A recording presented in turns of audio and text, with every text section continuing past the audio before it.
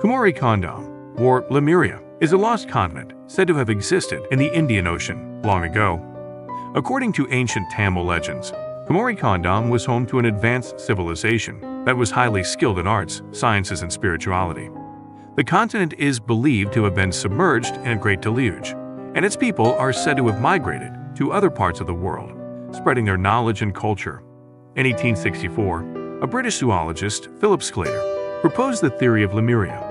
He suggested that the presence of lemur fossils in Madagascar and India indicates that there must have been a now submerged landmass in the Indian Ocean that allowed lemurs to travel between these two places. This hypothesis was met with skepticism. However, recently, scientists found samples of the mineral zircon on the island Mauritius in the Indian Ocean, dating back 3 billion years. But the island itself is only 8 million years old, giving rise to the reality that